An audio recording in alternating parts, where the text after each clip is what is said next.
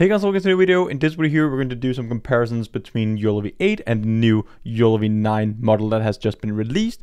So we have a new member in the YOLO family. We now have YOLO V9 and in this video we're going to do some comparisons. So we're both going to test a bunch of different versions. We have the nano, small, medium and all of those models with YOLO V8 and then we also have some new variations with YOLO V9. We're going to do some comparisons on some complex videos, different scenarios, different classes and so on, both on different image sizes. And I'm also going to show you how we can both do inference with YOLO V9 and YOLO V8. So you can both test it out on images, videos, your webcam or whatever you have directly with only a few commands or a few lines of code. So first of all here, let's just jump straight into the YOLO V9 GitHub repository. If we just scroll a bit further down, we can then see these benchmarks where they're comparing the new YOLO V9 model and this GELAN model with all the other YOLO models and versions out there.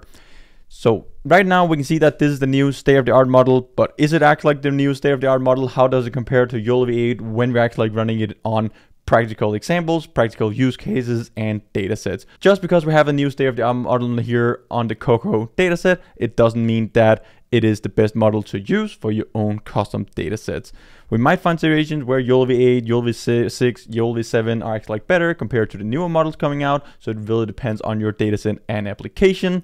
So one thing that we're going to take a look at is how good is this model at detecting objects, like smaller objects at a distance in the camera, and then also like how consistent is it at actually like keeping detection, so it's not flickering too much back and forth. So we're going to take the same videos, compare them, YOLO V8, YOLO V9, and then we're going to see who is still the superior, which of the models should we use in our own applications and projects going forward. So if you just go a bit further down, we can then see we have these new variations. So we have the small medium model and then we also have the C and the E version. And you can kind of like see the comparisons up here. So if we're taking, for example, the model here with 25 million parameters, so it is the C model. If we go over and take a look at it, 25, it is around here. So that is comparable to the medium model from YOLO V8. So those are the two main models that we're going to test out just to do side-by-side -side comparisons.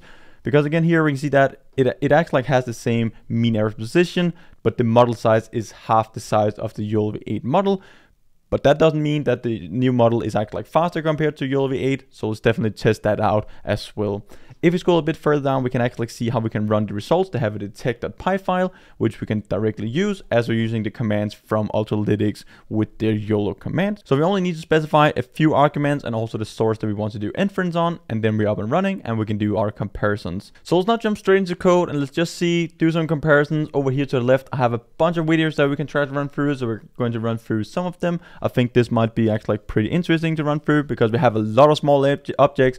We have some cars very far away. Let's see if we're able to actually like do detections with this new YOLO V9 model compared to YOLO V8 and also just to see like how does it perform on small objects, how fast does it run. We're going to get like the, the milliseconds that it takes to do inference for a single image, both for YOLO V8 and also YOLO V9. So we're going to compare that. We're going to different videos. We're also going to test different image sizes. So we're both going to test 640 um, and also 1280. So if you're running 1280, you won't really get real-time performance compared to 640. So you definitely need to run 640 if you want to run real-time performance. We also have these bags here. So basically just suitcases running at an airport when you're going to pick it up. So we're going to see how it performs on that.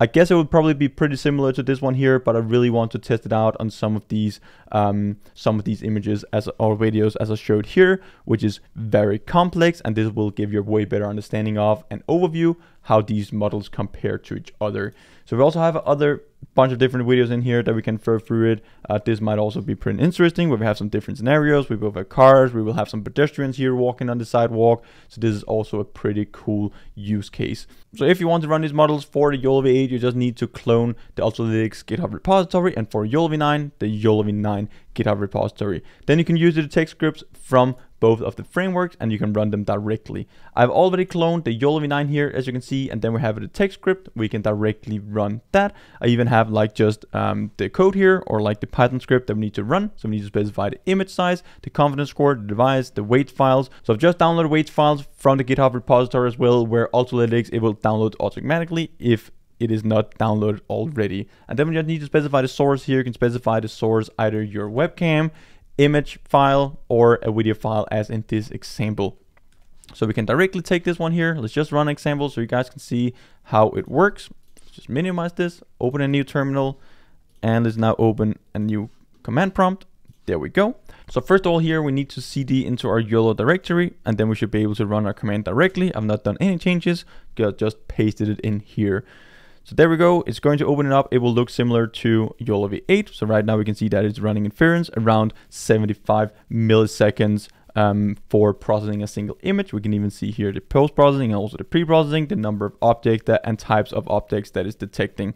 So this is the city road cars traffic. So here we can see a model running. This is the YOLO V9C model. We can see that it pretty much detects all the cars here driving around in this video as we can see we get some false predictions down here for traffic light but it is really low confidence score. Again we're not filtering our results based on that right now but pretty much all the cars here driving on the road is act like detected. You can even see the cars up here in the top left corner. When they come up here even in the top right corner it is pretty much detected all over the frame. This is on 12 80 images so this is rather large image resolution. You can also see it's a bit laggy and we're running around like 75 milliseconds so that's around 15 frames per second so it's not real time. I'm running this on a 3070 graphics card. So this actually looks pretty cool. We can just try to see the results directly if we go up and change the image resolution so right now we can just set the image resolution to 640 and you'll probably need to run that if you want to have real-time performance. Doesn't really matter what GPU you're using and that is often the case that we're just running on 640. So let's just try to see it. It's just going to open up the exact same thing. Right now we can see that we missed some cars here um, in the line going down on the highway, but we still get some pretty good detections. Pretty much all the detections here. We can see it's flickering a bit more. We still get some false predictions down here for the traffic signs, but generally here we can see that we're still detecting all the cars, at least the cars driving here. It is a bit difficult to detect these cars over to the left. We miss some up at the top right corner, but now we basically also have like half the size as we had before. So this is with the new YOLO V9 model C version. We can also try out the E version, which will probably be slower, but let's just try that out. We just need to swap out this one and we're going to run it and let's see the results. So this is just on the 640 just so we can pair that side by side. So we see that this model here is not as good as the other one. We're not really detecting like as many cars driving here. We see that we miss a lot of detections in the middle of the frame. So this model is not as good as the other one. We can also see the confidence score is rather low. Like some of them are down to like 0.20 or something like that. So this is not as good as the other model, but again, if we're upscaling the image using 1280, we pretty much detect every single car in this video. So here we can see side by side the comparison of YOLO V9 and also YOLO V8. By just looking at these predictions for this single video here, it looks like that the YOLO V9 model is actually better compared to the YOLO V8 model on smaller objects.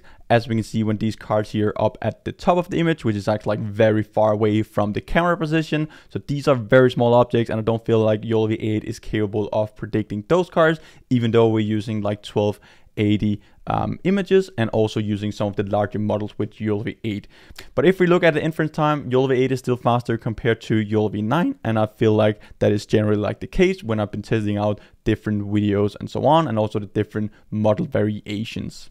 So if we're taking a look at these bags and suitcases running on this conveyor belt at an airport, we can actually see that I feel YOLO V8 performs better compared to YOLO V9. It both runs faster, but it doesn't get as many false predictions here and there. And we can also see for the YOLO V9, it had like a very large prediction in the front of the frame. Like sometimes it just detected everything as a ship. And we also got some overlaps here and there with persons walking in, in, in and so on, where it had multiple detections, even though it was the same person.